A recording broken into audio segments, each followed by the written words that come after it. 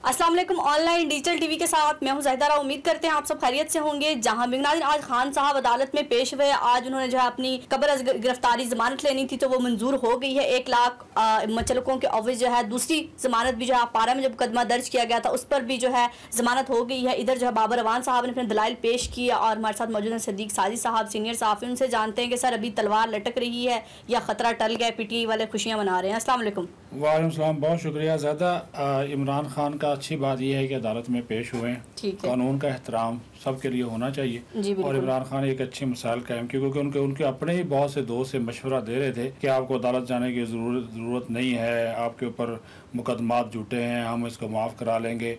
लेकिन उनके जो वकला की टीम थे जो लीगल टीम थी आज सुबह भी उन्होंने उनके साथ मशावरत की तो लीगल टीम को यही कहना था कि चूँकि अब आपके ऊपर पर्चे हो चुके हैं जी। तो उसमें जब तक आपकी ज़मानत नहीं होगी उस वक्त तक आपके ऊपर जो है वो ख़तरा गिरफ्तारी का मंडलाता रहेगा।, रहेगा। तो एक तो वो आज जब गए हैं वहाँ पे बारिश के बावजूद इंसदाद दहशत गर्दी की जो अदालत है वहाँ पर तो उन्होंने जो है वो जज जो थे राजा जवाद हसन अब्बास उन्होंने इसकी जो है वो समात की है। और वहाँ पे एक तो जो चेयरमैन पीटीआई पे दर्ज जो एफ़ आई आर है उसका मतन पड़ा है बाबर अवान ने। लेकिन उन्होंने एक चीज़ आप नोट करें कि बाबर अवान ने ना कोई माफ़ी मांगी है ना कोई उन्होंने अल्फाज वापस लिए हैं बल्कि उन्होंने ये कहा है कि इस केस में तो तीन लोगों को धमकी लगाने का इल्ज़ाम है इमरान खान की तरफ़ से कि आई जी इस्लामाबाद और उसके बाद डी आई जी और फिर जो जुडिशल मजिस्ट्रेट है जेबा चौधरी साहबा उनको धमकी लगाने का इल्ज़ाम है। अच्छा बाबर अवान ने इस पर यह नुकता इख्तियार किया और ये बड़ा अहम है। उन्होंने कहा कि इन तीनों में से भी कोई मुदई नहीं है। इन तीनों में से कोई भी मुदई नहीं, नहीं है, है। इस केस का। और उसके बाद फिर उन्होंने ये भी कहा कि ये जो अल्फाज हैं शर्म करो के अल्फाज ये धमकी वगैरह के जुमरे में नहीं आते। और इस अल्फाज पर तो बहुत से उन्होंने कहा जो हुकूमती लोग हैं वो अंदर होते लेकिन उनका कहना था कि लफ्ज तो मुआशरे में आम हाँ इस्तेमाल होते रहते हैं। ये होता रहा सारा कुछ चीज़ें। और ये कि डीआईजी को ये कहा गया कि तुम्हें नहीं छोड़ना तुम पर केस करना है। लेकिन उन्होंने कहा जो कुछ हो रहा है इमरान खान के खिलाफ इस पर तो आज यूएन भी बात कर रही है। और मजिस्ट्रेट साहबा जेबा को कहा कि आप भी तैयार हो जाए की आपके ऊपर एक्शन लेंगे। ये उन्होंने पढ़कर सुनाया सारा बाबर रहमान ने। और फिर उन्होंने कहा कि चूँकि ये जो है वो कोई सरकारी वकील का भी पूछा था जज साहब ने तो चूँकि उन्होंने बाबर ने कहा कि अभी तक इस दरखास्त पर कोई नोटिस ही कोई नहीं हुआ।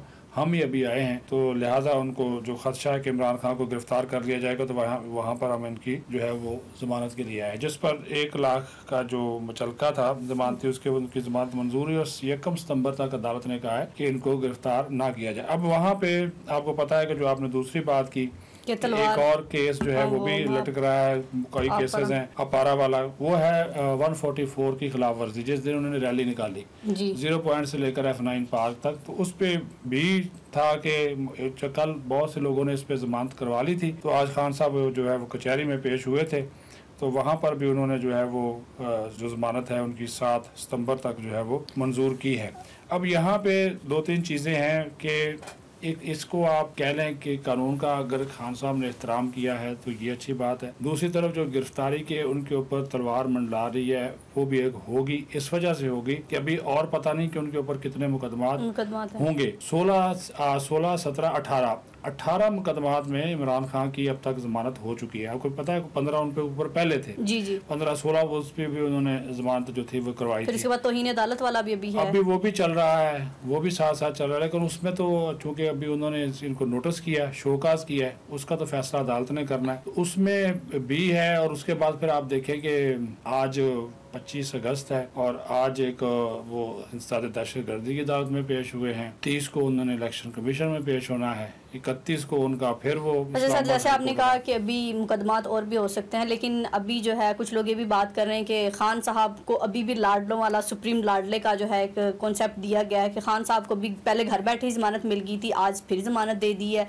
तो ऐसा लगता है कि खान साहब के लिए पाकिस्तान में कोई कानून नहीं है। देखिए ये कानून है तो वो गया है ना ना जाता तो ना जाता। मतलब जमानत पे एतराज़ उठाए जाने की नहीं मिलनी चाहिए थी। नहीं जमानत दे दे इतना तो मौका होता है। ये अपना देखिए ये जमानत है कबल गिरफ्तारी इतना मौका अदालत देती है। ठीक है। पहले देखिए ना ये हाँ अगर हम सीधा सीधा बोल रहे हैं तो ये तो फिर एक और माजी में भी लोग लेते रहे अभी आप देखिए जब लोग तो उस वक्त कह रहे थे कि अरेस्ट हो जाएगा जिस दिन उन्होंने राहतदारी जमानत मंजूर की थी जी जी। तीन दिन की। जी जी। तो उस वक्त लोग कह रहे थे लेकिन अदालत ने फिर भी इस्लामाबाद हाई कोर्ट ने रिलीफ दिया। जी। अगर वो चाहते तो नहीं ना भी देते। ना वो उनके पास था लेकिन उन्होंने रिलीफ दिया और कहा जी आप रुजू कर लें। और उन्होंने आज रुजू कर लिया। ये अच्छी बात है। देखिये जब तक अगर आप खुद बात करता है इमरान खान अमीर और गरीब के लिए कानून एक होना चाहिए। हाँ, तो फिर सबके तो लिए। फिर फिर उनको खुद को भी इजहार है वो अमीर कबीर तो चलो हैं ही हैं लेकिन वो एक लीडर हैं। जी। कौमी पार्टी के लीडर हैं। तो उनको तो चाहिए वो अदालतों का एहतराम करें। इनके दौर में इमरान खान के अपने दौर में क्या शबाज शरीफ नहीं पेश होता था? नवाज़ शरीफ पेश होता था जरदारी अभी भी पेश होते हैं। अभी भी होते हैं। जाना चाहिए बेशक आप वज़ीर आज़म हो। हाँ। और ये एक अच्छी रिवायत है। ये ना आप करें कि आप अदालतों पे प्रेशर ये मैं फवाद चौधरी की बात कर रहा हूँ कि देखे ना वो जब फैसला हक में आ जाता है तो बल्ले बल्ले हाँ जी। कोई जज फैसला खिलाफ दे दे तो उसकी ऐसी तो तैसी देते हैं। और मजबे में खड़े होकर ऐसी बात नहीं करनी चाहिए। ये जो एक रुझान है ये खत्म होना चाहिए। खान साहब को इसके ऊपर भी जो है वो करना चाहिए। अब इनका सोशल मीडिया देख लें। मैं और आप कोई भी थोड़ी सी भी इनके खिलाफ बात कर दें हमारी हाँ। माँ बहन एक हो जाती है। जी जी। और अगर हम जब एक बात इनके हक में लिख देते हैं तो वो बल्ले बल्ले वो हमारा ट्रेंड भी बन जाता है और बड़ी चीज़ें जो बन जाती हैं। अब वो एक चीज़ आजकल वो चल रहा है आपके सामने ही है। वो एक जो रात फजल रहमान ने स्टेटमेंट दिया।